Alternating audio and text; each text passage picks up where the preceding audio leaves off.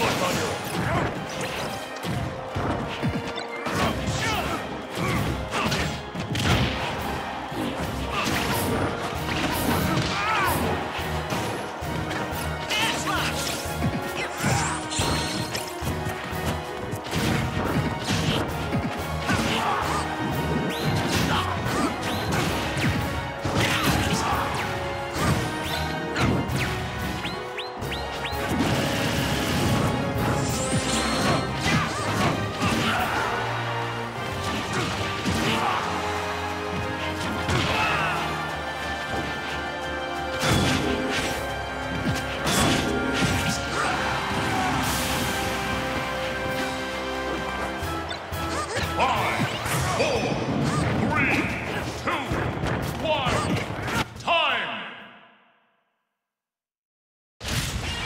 The future is ours to decide.